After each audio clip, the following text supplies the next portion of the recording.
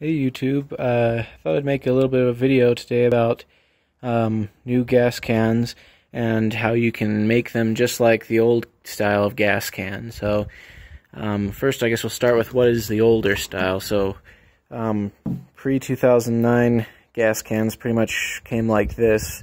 This is a great example of a pre-2009 gas can. It's a Blitz brand 2 gallon and anyway, you open it up, and it's pretty simple and straightforward. I mean, the gas would be in there, got a little funnel spout and a cap, um, and so anyway, that's what uh, was used for um, years and years and years, and then the California Resource Board, along with the EPA, um, turned gas cans into something rather ridiculous.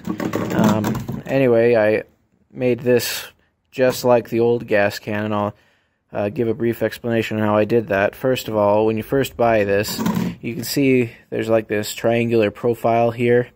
Um, there used to be a, a, notch there that would um, kind of act like a ratchet against a uh, uh, gear-like thing on the cap.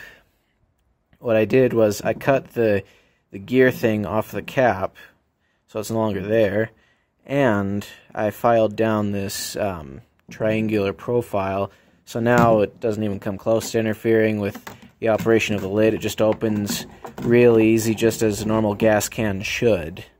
Um, anyway, then comes out this, which I'll get to that in a moment, but was in here instead of it just being open how it is now, it had this uh, stuffed down inside the um, uh, opening here. And I honestly have no idea what this does, but it makes it really hard to tell what level of gas is in the uh, uh tank. So uh, I just got a pair of vice grips and I twisted it out. I was a mixture of, you know, pulling up on it and, and uh, twisting it. And as you can see, it mangles it, but I mean, since you're not going to use it, who cares? So anyway, coming back to um, this piece, this used to be a pain. You'd have to press down really hard on this, and then you'd have to push against a really heavy spring in order to get it to open, and it opens like that. Um, to fix that, what you do is um, Let's see if I can do this with my fingers.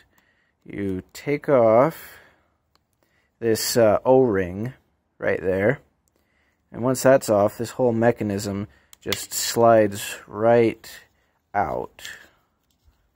And so the spring was attached to that little point there where my index finger is.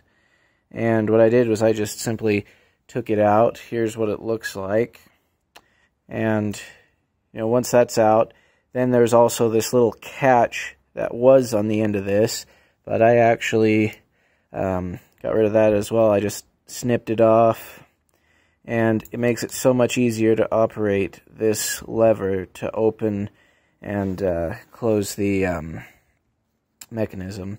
Uh, anyway, let's see if I can get this back together real quick so I can demonstrate how it works now. Just give me one moment. Okay.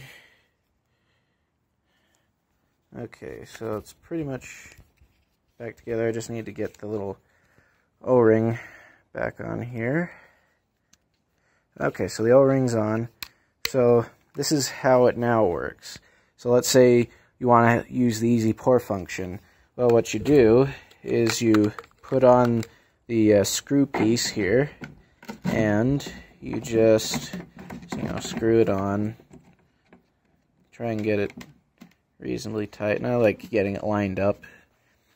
And when you're storing it, you'll just store it like this. It's got the little cap on it, and this part will be up.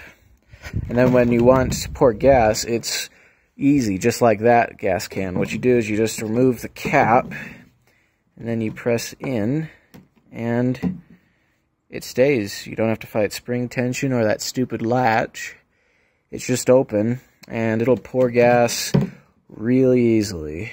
So, Um, anyway, I hope that you found this helpful. Um, feel free to uh, give it a like, share, and subscribe.